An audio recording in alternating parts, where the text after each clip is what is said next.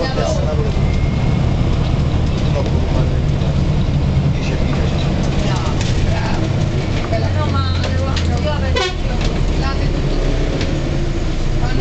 gente che sta sentendo, non si può assentare, non si può assentare.